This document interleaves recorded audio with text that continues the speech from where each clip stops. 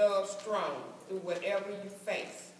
Keep building your marriage on the foundation of Christ.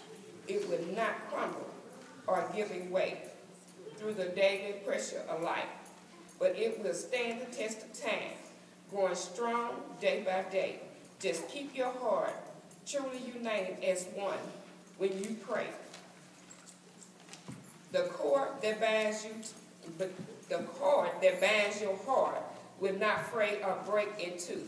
When you build your life on God, He will walk with you. Amen.